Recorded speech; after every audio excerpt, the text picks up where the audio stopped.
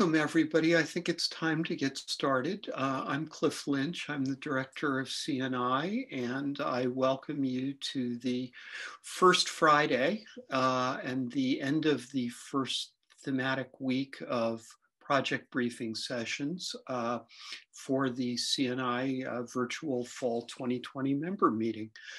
Uh, and I would just note that we will have some more sessions today and then uh, Monday at four, uh, I will lead a sort of a summing up session for the first week. A couple of logistical things. There is a chat uh, and please feel free to use that to identify yourself or uh, make comments as the presentations uh, unfold. There's also at the bottom of your screen a uh, Q&A tool. Please use that at any point during the presentations to um, uh, to uh, queue up questions. We'll deal with all the questions at the end of the two presentations when uh, Diane Goldenberg Hart from CNI will materialize and uh, moderate a Q&A session. I would also note that we are recording this session. It will be available subsequently and uh, closed captioning is also available if you'd like to uh, make use of that let me, with that, introduce our speakers. Um, we have with us today uh, Daniel Noonan and Sue Beck, both of Ohio, the Ohio State University, excuse me. Um, and uh, they are going to explain some uh, forbidding sounding acronyms, um, uh, which you can see in front of you uh, and also uh, what brainwriting is, a term that uh, I hadn't come across uh, until I saw their abstract. Um, but really what this is all about, I think, um, at least as I understand it, is about really thinking through what digital content and digital preservation mean to workflows and how appropriate workflows uh, recognize those realities. Um, uh, at many of our institutions, as you know, um, dealing with digital materials has just sort of been grafted onto very long-standing workflows um, in ways that I would say are ever creakier uh, as time goes on. So with that, uh, I will welcome and thank our presenters and turn it over to uh, Daniel to start the presentation. Thank you, Cliff. and thanks for you all to come today to hear our presentation. Uh, this is our first kind of public uh, walkthrough of, of the work that we've been doing for the past six to eight months. I'm Dan Noonan. I'm the digital preservation librarian at the Ohio State University Libraries. Today, Sue Beck and I will be discussing the use of SIPOC, RACI, and brainwriting and exposing our existing workflows that surround digitization and born digital acquisition, as well as the arrangement and description of, providing access to, and preservation thereof. Sue, a senior systems consultant, and I are members of the University Library's Information Technology Unit. We will be using a scripted presentation for the sake of future clarity, as well as observing our commitments to the use of our limited amount of time most effectively. We are gathered here in Columbus on the unceded lands of indigenous people who have been coming to what is now the state of Ohio for thousands of years. And the series of large scale geometric boundary and effigy earthworks still visible in central and southern Ohio bear witness to this region's historical importance as a center of economic, spiritual, artistic, and intellectual endeavor and exchange. We acknowledge Central Ohio as the traditional homeland of the Shawnee, Miami, Hopewell, Wyandot, and other indigenous nations who have strong ties to the lands. Today, individuals from broad range of indigenous backgrounds call Columbus and Central Ohio home.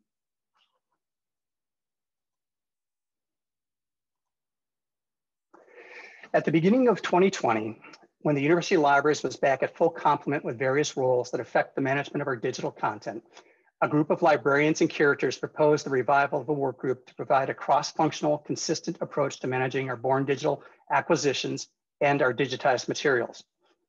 Various work groups over the past decade have come together around issues pertinent to our digital content with success in developing guidance, while others' efforts have not necessarily seen the light of day.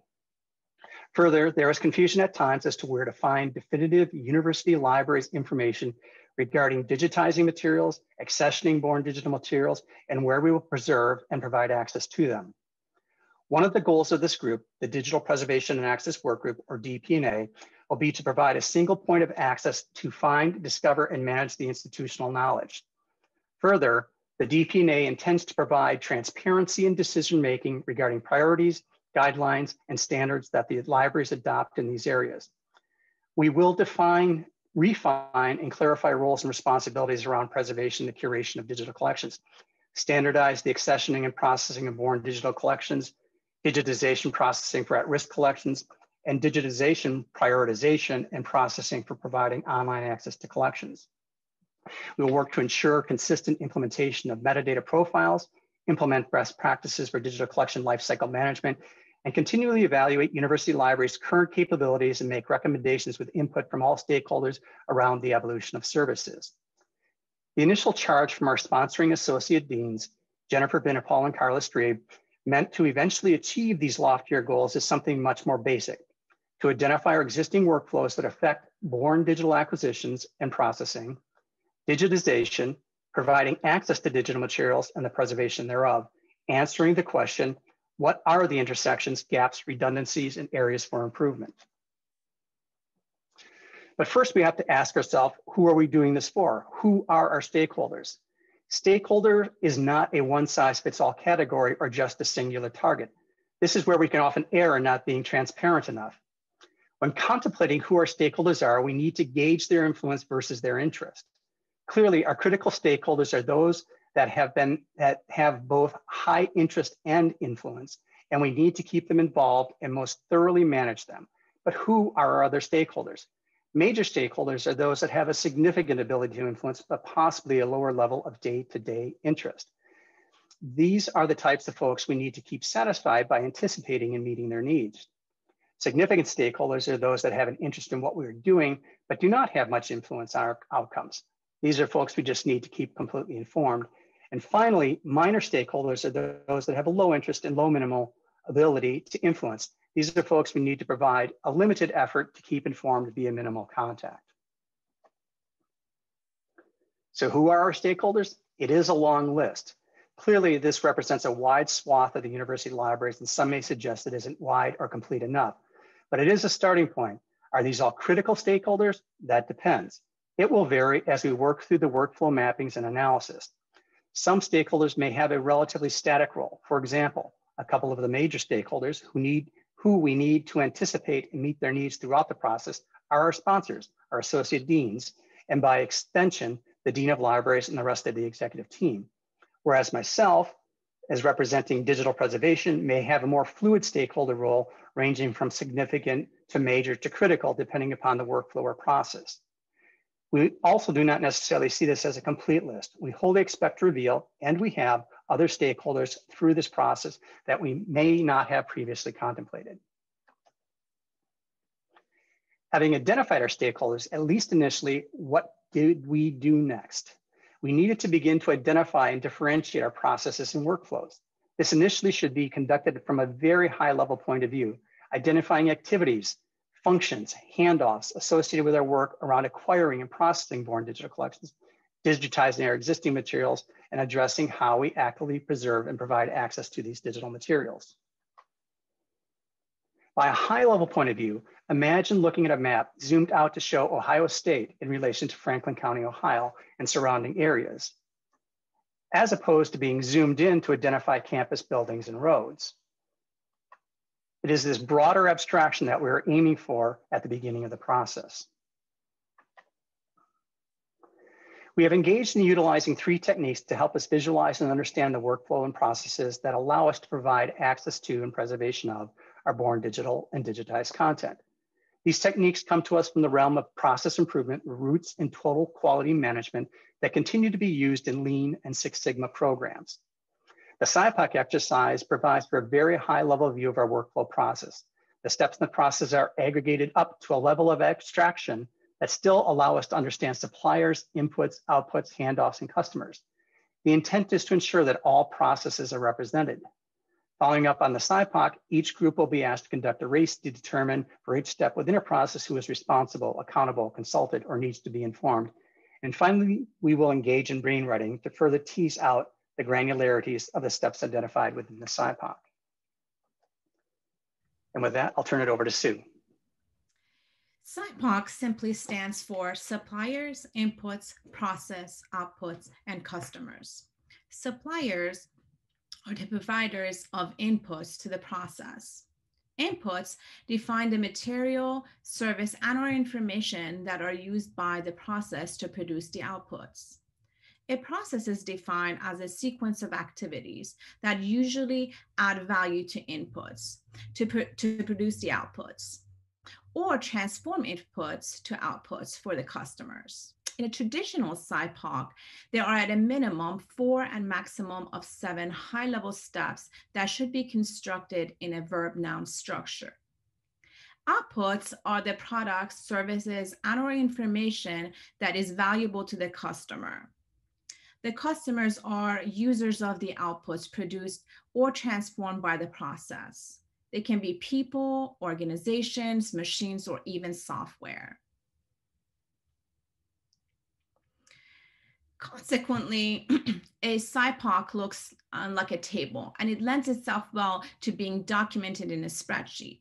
However, the interesting thing about SIPOC is that it's not created in the linear manner that the acronym suggests.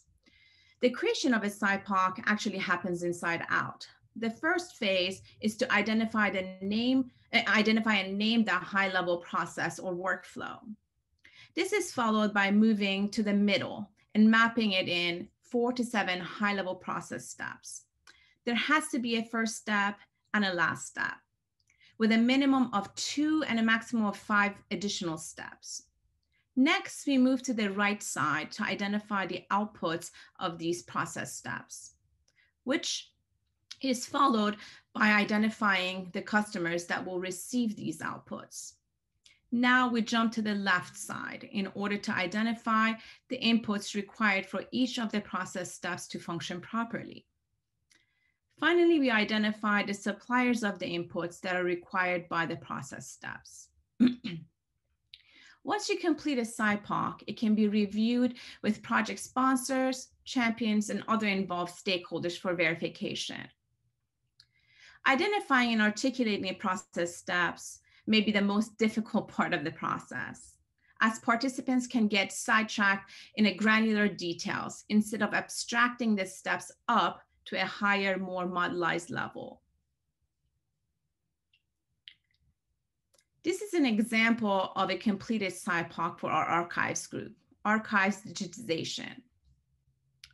However, this is where they started from, naming the process and starting with the first step, request for digitization, followed by identifying the last step, storage of material. Then they fill the remaining steps in between. After recording the process steps, we begin to identify outputs of those steps which leads to identifying the customers of those outputs. From there, we jump back to the other side of the matrix and begin to identify the inputs to the process steps before finally identifying the suppliers of those inputs, leading to a completed SIPOC. After completing the SIPOC, we can begin to conduct the RACI exercise.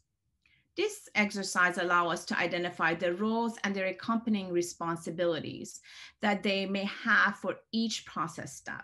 This acronym stands for responsible, accountable, consulted, and informed. We need to make a distinction, however, between a role and individually identified people. A role is a descriptor of an associated set of tasks that an individual is capable of completing.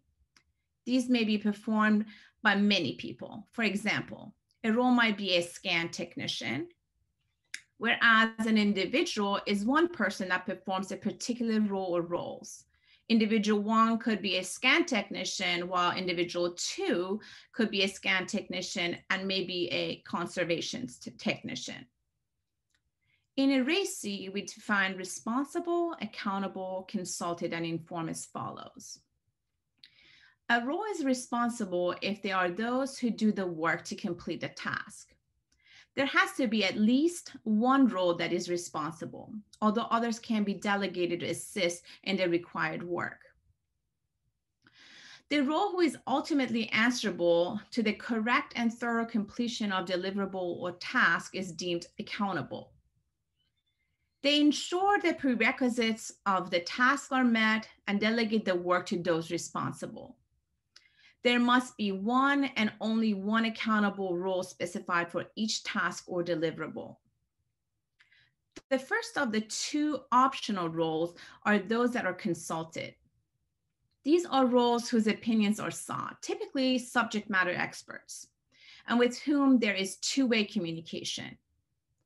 The second optional and final role is that of inform. These folks are kept up to date on a progress often only on a completion of a task or deliverable, with, uh, and with whom there is just one-way communication.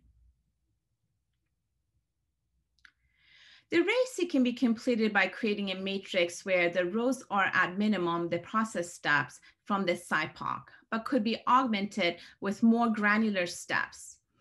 As in our example here, based upon the uh, archives digitization SIPOC that we just shared. The first step, along with step three, four, and five, have been further broken down due to divergence in actual workflow and applicable roles. The RACI can be completed in one of two manners. In version one, which we see here, the columns represent RACI, and for each process, the roles or persons are identified. Each step must have at least one responsible, but only one accountable role or individual. In this version, one can quickly identify who is responsible, accountable, consulted, and informed, particularly to verify that there is one and only one accountable person or role for each step, while there may be multiple roles for people or people responsible, consulted, or informed. In our example, it was an initial pass that identified multiple accountable roles for a few process steps, which led us to further dividing those. In version two, the columns represent the various roles and can be further broken down by individuals. For each step, one indicates if the role or individual is responsible, accountable, consulted, and or informed. In this version, one can see how a role or an individual's participation changes throughout the process, as well as the aggregate, of their responsibilities. Both versions provide us with valuable insight into workflow and its processes. The RACI is an important bridge to the brainwriting process it helps us to, uh, helps us identify who needs to be in the proverbial room for the brainwriting exercise. We are using the term brain writing, not brainstorming. What is the difference? In a brainstorming session, we approach the exercise with an open mind where the sky is the limit, trying to get all the potential ideas on the table from various points of view. However, the objective in front of us is to determine and document the now and what we are currently doing, not what we want to be doing, regardless of, whether we are doing the right thing or not. Brainwriting allows us to dive deeper beyond those four to seven process steps and examine our processes with finer granularity. There are various brainwriting methods available, such as 365, but we decided on a simplified version. We selected this method with the following benefits in mind. Fast and efficient, less social anxiety and competing personalities, and avoiding the groupthink consensus. This process would ensure that all ideas were recorded by the individuals who thought of them. Additionally, eliminating the recorder's bias and control. If we were to conduct this exercise in a traditional venue, we would be in a conference room with a whiteboard and folks in the room would have pads of note, posted notes in front of them. We would ask them to itemize all the microprocesses and activities involved in each of the process steps identified in a SIPOC on a series of post-it notes, and then have them all placed on the whiteboard. However, we are currently in the throes of COVID-19 related restrictions, and on, which only allows us to uh, meet virtually. Therefore, we look, uh, we look uh, for virtual whiteboard tools in order to accomplish this activity. Having settled upon Google's Jamboard as a, no, as a no-cost alternative, we quickly ran into some limitations. Our problem was twofold. The tool, uh, first, the tool itself, whether Jamboard or other like tools, um, were cumbersome for some average users. Second, there is no way for the individuals to create their set of post-it notes before sharing them. They are, they are right out there in front of everyone uh, and folks start to react to them without doing their own brainwriting, thus stifling the progress. So we went back to the drawing board, pun intended, we constructed a spreadsheet option that would allow each team individual to itemize the steps, as well as identifying general notes and or dependencies. Additionally, as Dan and I review these step, uh, these brain writings, we are we are adding our own notes and questions for clarifications. It is from these spreadsheets that we will begin to diagram, visualize process maps and workflows.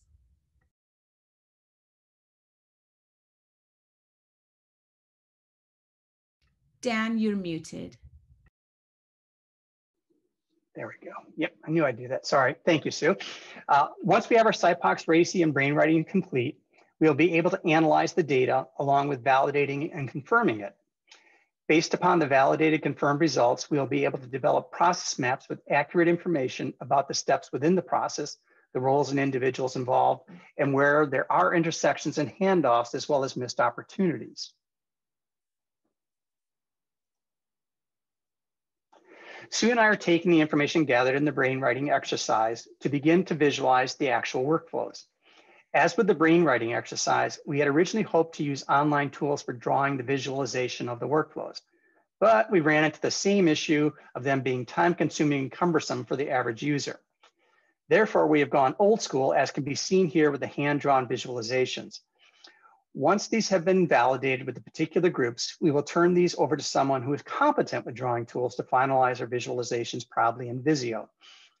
The ultimate goal will be to assemble a larger visualization of all the processes, identifying not only the steps within the processes, the roles and individuals involved, and where there are the intersections and handoffs, but the organizational redundancies, gaps, and best practices.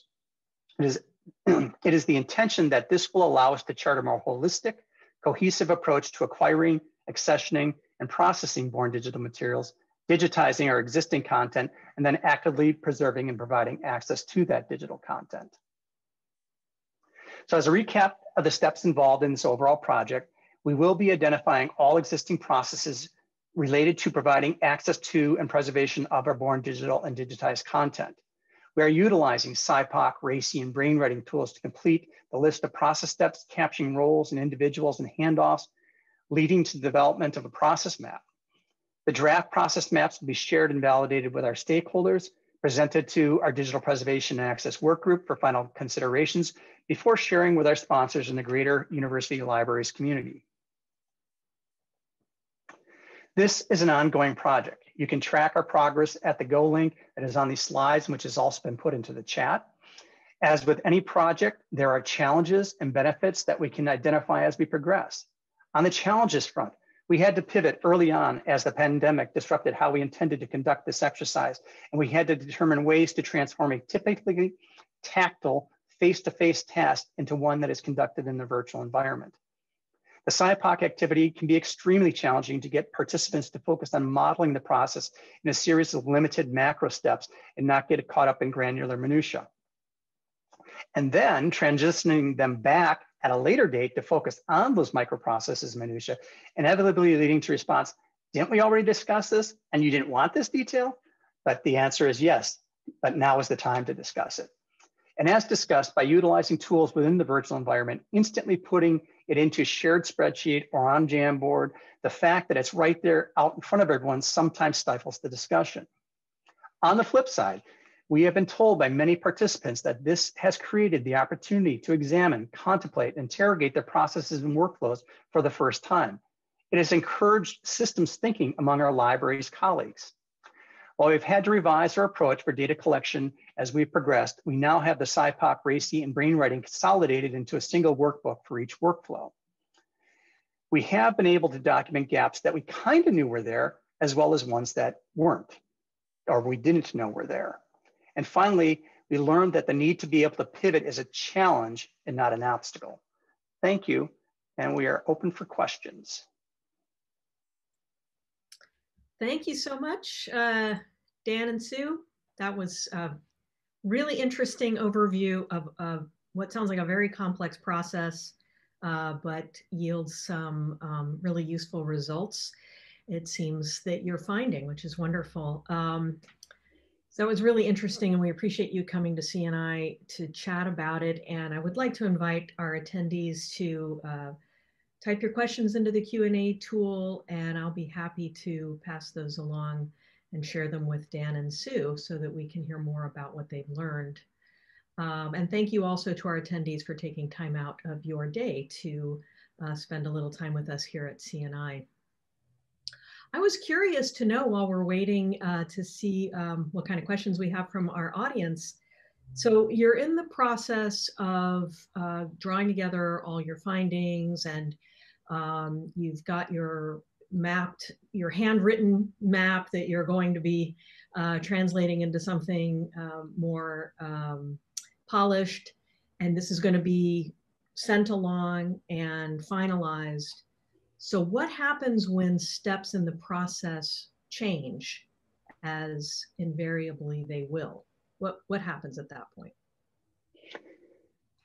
Well, at this point, we're trying to get the sense of what we're actually doing. And, and because of that, we know there will be gaps. We know there will be changes. So part of what comes out of this ultimately is a recommendation for um, process improvement within the libraries. Um, and so you know, we've been looking at um, everything from the way our special collections folks look at um, um, whether it's it's a digitization project or potentially accessioning born digital materials, how our metadata um, folks interact in that process, how the digitization group works with that, how our copyright interacts, how our collection management. So, and we're still in the process of um, conducting even some of the initial SIPOCs yet as we begin to piece these things together as we move down the road. So the map that you saw there is just for one small workflow. We've right. got a lot more maps that are going to all come together in the larger maps. And, and you know, do we see in somebody's SIPOC where they were doing this or consulting that person that three or four others are not? Is that the right thing to be doing? Or maybe those other ones are supposed to be doing it. Or maybe that one, it's like, why did you do that? Nobody else. So we're, we're still that's that's ultimately what we hope to get out of this is so that we can improve the process but at the same time then is is make this visual so that everybody in the libraries understands how the processes work and how we're part of a bigger project management um, exercise than just in our local areas within the libraries. I see. That makes sense. So it's bringing a lot more transparency to uh, the elements and the process itself. Got it. Right. Okay, that's really interesting. Thank you.